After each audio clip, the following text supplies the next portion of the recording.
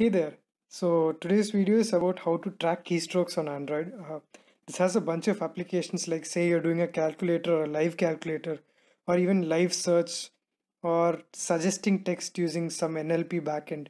So this can be useful in that aspect. So I'll show you how to do that. Uh, first I'll create an edit text and give it an ID text and that's here. Uh, that's all we need to do in the UI part. Then I'll go to my Java.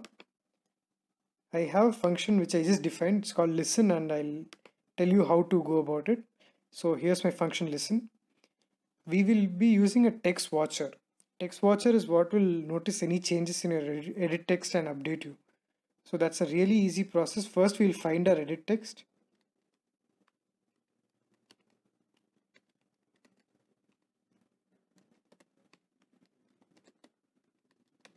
Okay there's our edit text. Now all we need to do is set a text watcher. So for that we need to do edit text object et dot uh, add text change listener. So that's what we'll be using text change listener. And now you just see the prompt. It says text watcher. So we'll call a new text watcher. Just like all the methods android will do android studio will do all the work for you. Just click the option here.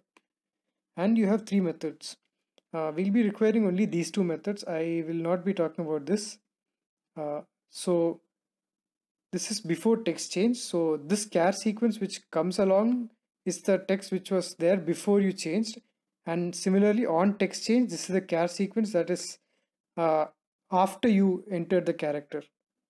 So it's a really easy application. Uh, all we need to do is just put a toast or whatever uh, so we can just use this char sequence. I'll show you what the char sequence is but you can use it in your backend or for predicting something or even doing a calculator with live outputs.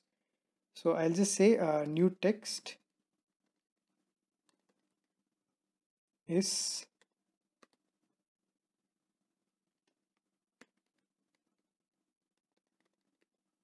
oops s yeah so by doing this toast, we'll be printing the new uh, complete array, new array which has been entered. So say we had uh, an input of A and then we type B after A, the output here will be AB. But we only want to detect new characters. So for that I can, I'll just do this.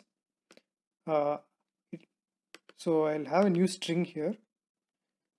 String, uh, string change is equal to empty plus uh, my char sequence s.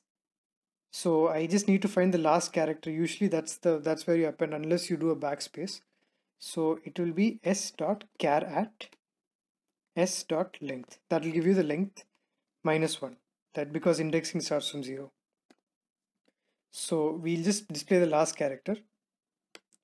So it will become u entered